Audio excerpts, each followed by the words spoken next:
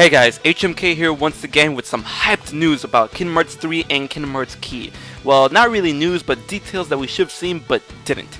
Now this awesome site by KingdomHeartsInsider.com or KHInsider.com posted this really cool editorial piece stating that the gun keyblade or the two shoe blaster that we saw from the Kingdom Hearts 3 D23 trailer, it's not Oathkeeper because a lot of people believe that this was a transformed Oathkeeper, you know, giving the business to all the Heartless out there.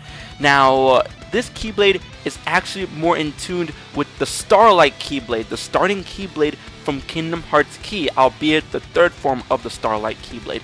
Now, if you look at it, it's, this is true because the pendant that shows the little star and the little attachment over the star is on point with the pendant on the two-shoot blaster. Also, if you look at the hammer, you know, the back end of the guns, the hammer clearly matches the hilt of the Starlight, and then the color scheme matches it that well. You know, the blue, the purple, the yellow, the white, it's all there.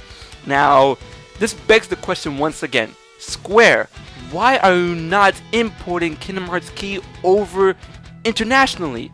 Why, why is it not in Europe? Why is it not in America? Why is it not everywhere in the world but Japan? If you continue to put more significance on the connection between these two games, I mean, what's the deal? By the time Kingdom Hearts 3 comes out, is Kingdom Hearts Key going to be out in America? That also begs the question, in my opinion, that the reason why Kingdom Hearts 3 is not coming out soon is that they might be planning a Kingdom Hearts Key international release or something, even though they keep on saying that they're not going to um, release it internationally but it just makes little to no sense if you're gonna keep putting all of the significance in that game, showing the connection between that game and this game. Now the good thing out of this is that the Keyblade designs in Kingdom Hearts Key are pretty badass, including the foretell Keyblades. And if we're gonna use those in Kingdom Hearts 3, oh man, I can't wait to see those kind of transformations with those bad boys.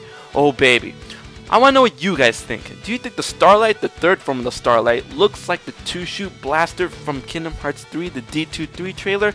If so, you know, leave it in the comment section below. If not, leave it in the comment section below. And if you like this video, don't forget to like, share, subscribe, all that good jazz. For more Kingdom Hearts 3 news, Kingdom Hearts 3 discussions, all that stuff.